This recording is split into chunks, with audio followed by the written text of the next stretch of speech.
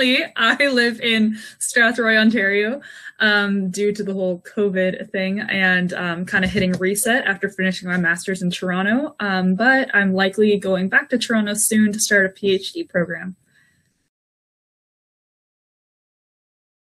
I am currently the camp director of Rainbow Camp, which is a summer camp for LGBT youth. And um, we are held in Northern Ontario, but we get kids from all over Canada and the States. So that's my job. I was a camper in 2007, a CIT in 2008, and then I worked at Pearce Williams, I believe, up until 2014. At camp, I was Ooh, well, CIT to counselor, counselor, and I did programming. So I was the craft lady at one summer, and then I did, I don't know, we all kind of took turns doing all sorts of programming stuff. And then I was the medic for a year, and then I did integration coordinator, and then I was medic again. Um, and yeah. oh, and World Camp. I did World Camp stuff as well. growth. Okay, I think my favorite camp song is Give It Away uh, because it is one that um, we were there when it got written and we were, it's my favorite camp theme. It was my first year on staff, but it was also my favorite camp theme. And I think of that theme all the time. Um, Give It Away is such a I don't know, it's like that letting go, but also generosity and, you know, karmic goodness that I think of on a regular basis. So, um, not just the song, but everything that it reminds me of. I love Give It Away.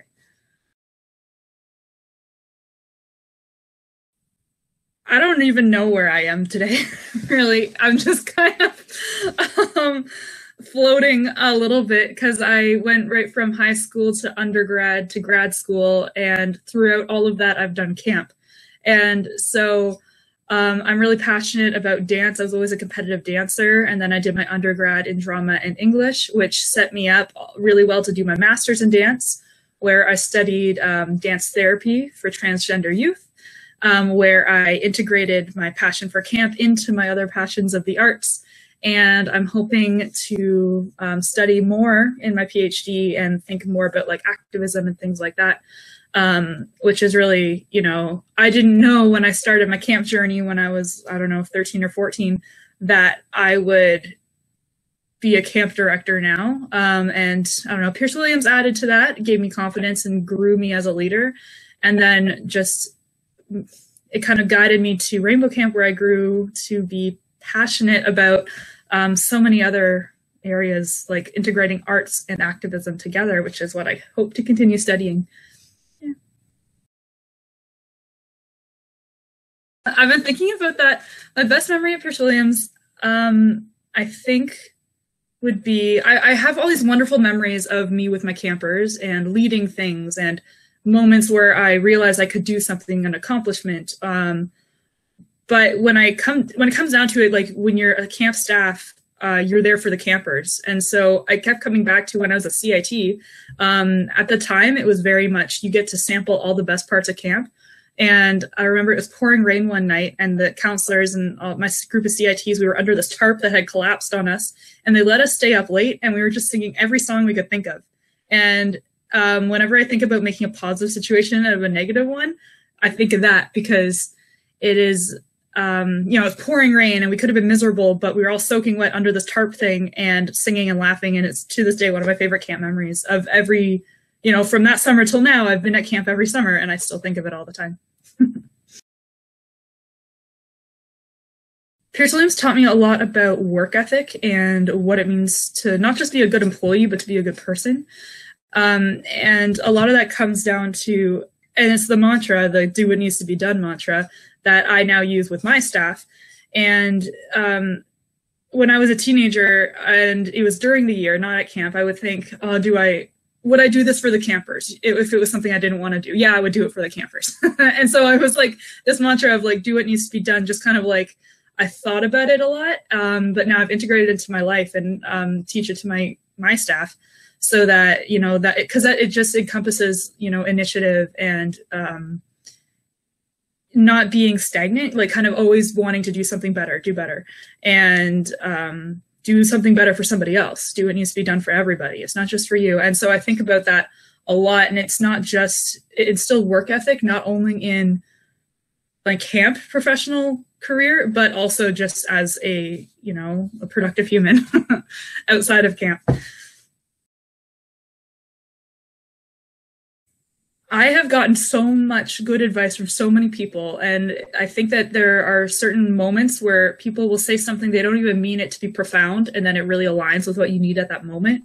Um, so I've, the other day at work, at the other job, I work at a factory in town, and um, I was upset about something. And um, one of the girls had said to me, You know, there's always something else going on that you don't know and you don't see and it kind of gave me some patience and really i've been really thinking about that lately but like those little offhanded like um, things that we don't even think about that can really like impact somebody um, and but i don't know my aunt told me once when i was a child is and i've been thinking about this a lot too when i think when it comes down to fundraising for um, rainbow camp is um, always ask. She just said, always ask, because the worst anybody can ever say is no. Like that's the absolute worst. And if that's the worst, then that's that's not that bad. So always ask. And um, that is what made is like just thinking about that is what's made me a good fundraiser, a good activist, um, you know, a good speaker, lots of things that I now do as part of my job and part of my passions.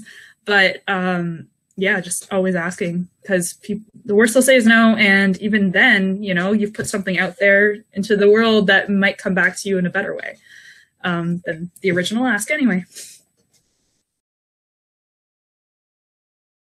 The best advice that I've ever received was um, was from a professor in first or second year, and I was writing a paper about activism and feminism and wanting to change the world through art. And um, I was like, how do I do this? I feel like I might, you know, I was so worried about making somebody upset, and if I, you know, and um, my professor was like, here's like a hint: when you're doing activist work, you will always lose. You're always gonna piss somebody off and I think of that a lot because um, if you're too scared about what people are going to think or how they're going to respond or um, misunderstand your intentions when you're trying to do good, you're trying to, you know, make a positive change, but you can't because there's always going to be somebody who doesn't like how you said it or you offended somebody a little bit. But um, you just have to keep a really good intention and keep being true to what your actual work is. And so, and it was really good advice. I think of it all the time.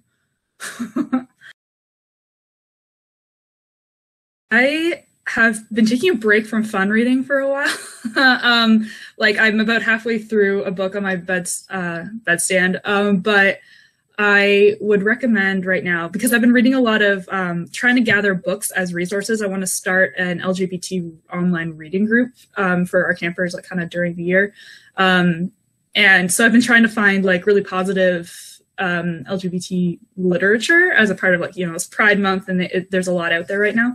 So I've been reading a lot, like kind of researching and reading young adult queer literature and trying to figure out what might be good for this like book group thing I'm thinking about. Um, and other than that, I've been reading a lot of academic articles on social anthropology and figuring out what kind of research am I going to do for my PhD. I don't know. I'm figuring it out.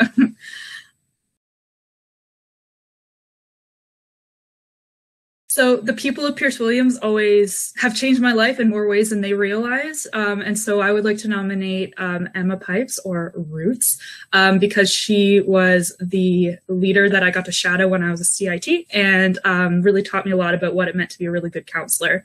And I still look up to her.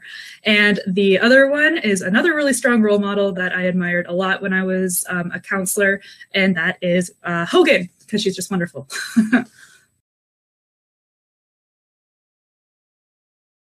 people should support Pearce Williams because it is really where um, I believe faith is integrated in one of the most um, positive ways I've ever experienced.